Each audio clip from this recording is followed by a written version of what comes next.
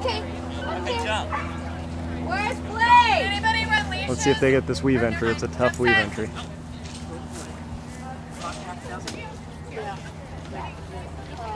A little too slow, but looks like they might get it. Yeah. Guppy, Jason, Blaze, I think is absent.